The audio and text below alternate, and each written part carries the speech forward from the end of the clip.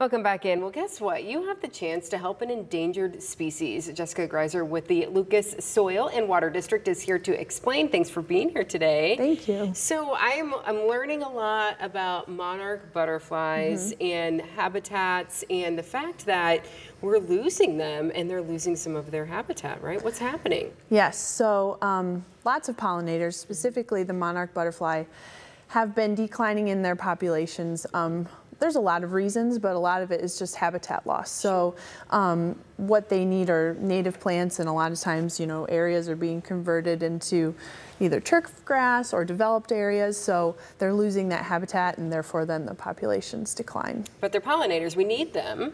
Exactly, you yes. Know, it's, it's super important to our whole ecosystem. Exactly, yes. They say one out of every three bites of food is um, responsible from a pollinator, so we need pollinators, and um, so it's you know, doing our part to put that habitat back on the land for them. So a very important part of the habitat for a monarch butterfly, I'm learning, is the milkweed.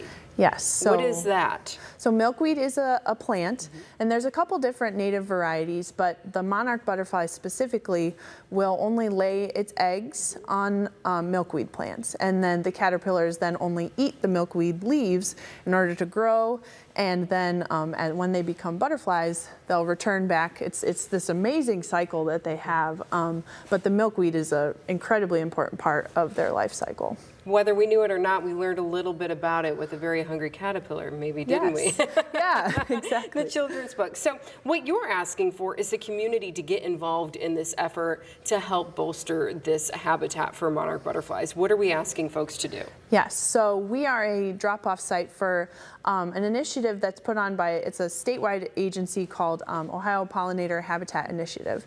And um, our collection site, we're asking folks if they have milkweed on their properties to um, check out the pods and if they're ready, which means they're dry and kind of gray, greenish brown, um, and the seeds are like a dark brown color, they're ready to be harvested. So you can take some of the pods off of the plant and then bring them to our office. And what the agency will do is um, eventually separate those seeds and then put them back out um, into the communities to create more habitat. Aha, uh -huh. so we're looking at some visuals here to give you an idea of what we're talking about, what the plants look like, what the pods look like, what you should be looking for when they're ready, and then the drop-off location. Where are you all located? So we're located off of Hill Avenue in Toledo.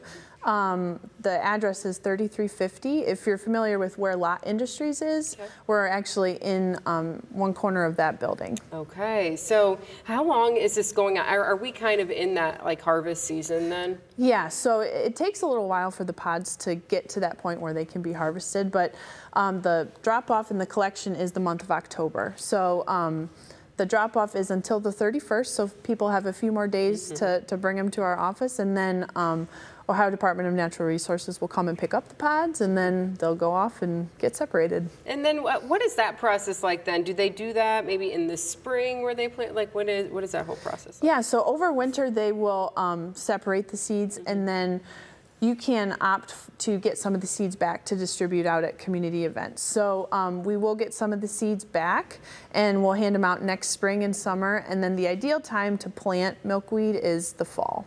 So, so right around this time. Yep. Mm -hmm. So, it, but it does. It takes it takes a little while for yeah. to get that process going and, and to see that all the way through. Mm -hmm. So if you have uh, milkweed at home, you know now's the time to check for that. But maybe somebody is like, I didn't know about all of this, and I really want to get involved. I mean, can you? Where can you find a, a milkweed plant? so what's really cool is there's there's a lot of uh, interest in native plants in our area, and it's continuing to grow. But um, lots of different places, including ourselves. We have plant sales in the spring and in the fall, um, where one of the plants that we will sell is milkweed. And like I said, there's several different varieties, um, swamp milkweed, butterfly milkweed all the all those are important for the monarch butterfly and so that's the first step is if you don't have seed you can plant the plants and then um, you know as they grow and mature mm -hmm. you can watch the butterflies come wow yeah. how wonderful would that be to just kind of have that little prairie right there yes. in on, on your personal property and as you said you have those native plant sales mm -hmm. to where you can get get yourself started but in the meantime if you're just hearing this and you're like oh I have some milkweed you know uh, look at those pods and get them dropped off because you at this point, we only have a few more days to do that, right? Yeah, yep, the 31st is the last day. So um, the bins are right outside our office door. We don't have to be open, so you can bring them on the weekend if that works for you.